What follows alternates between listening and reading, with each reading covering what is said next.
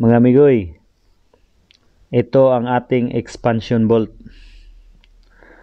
Ano ba ang expansion bolt? Ano ba ang silbi nito? O saan ba to gamitin? Itong expansion bolt, ipakita ko lang sa inyo bakit tinatawag tong expansion bolt.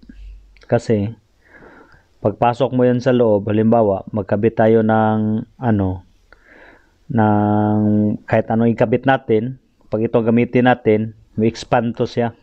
Paano ba to ma-expand? Yung dulo, tagalin ko, ipakita ko sa inyo. Yan ang magdala ng expand. Hindi na yan kailangan ng plastic fisher. Ito, ginagamit ito siya sa may hindi matibay na mga pader. Halimbawa, yung magka, kinakabitan namin, hindi siya buhos, hindi siya pure simento.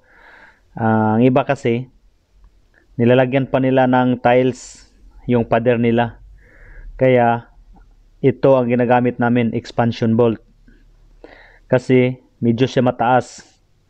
Kasi kung anuhay natin, kung gamitan natin ng fisher katulad nito, ito, may tiles to eh hindi siya pwede ang ano hindi kakapit ang fisher plastic kaya gamitan natin expansion bolt para makaabot siya dun sa ilalim sa may solid na simento para matibay ang ating ano gawa o yung bracket natin kahit anong uh, ano ikabit niyo kailangan kung may hindi matibay kailangan gamitan natin ng expansion bolt para makaabot sa ilalim.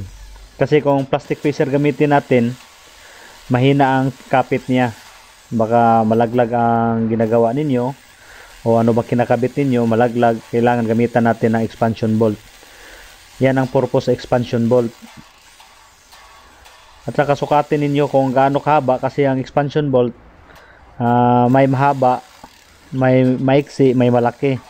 Kung ano ang expansion bolt na gamitin niyo, anong size, yung ano din ninyo, yung pangbutas ninyo sa pader din, pareho lang din ang sukat para saktong-sakto siya. Kasi pag medyo maluwag kasi malaki ang gamitin ninyo na uh, drill, yung bala sa drill, luwag yan, maluwag. Dapat kung halimbawa ito 10mm ang ginagamit namin na expansion bolt, 10mm din ang gamitin natin na pangbutas.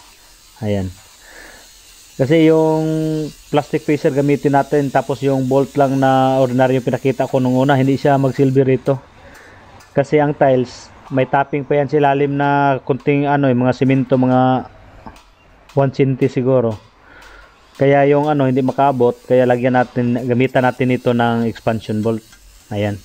Pukpukin lang natin martilyo kasi medyo sikip yan siya kasi pag expand niya, 0-0 siya. Pag ikot mo sa uh, ratchet, umi-expand yung ilalim eh. Kaya tinatawag to siyang expansion bolt.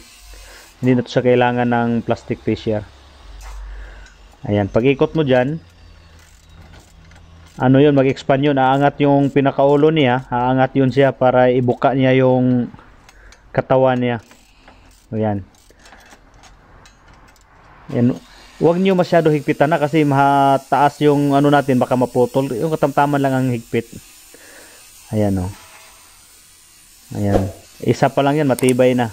Ay, pero tatlo itong ilagay natin para siguradong hindi malaglag ang ikakabit natin. Kahit ano, kahit ano yung ikakabit natin sa ating bahay, kung anong gusto nyo ikabit, kung medyo walang tibay ang inyong pader, gamitan niyo ng expansion bolt para taas ang kapit na silalim. Ayan, oh. Oh. Ayan.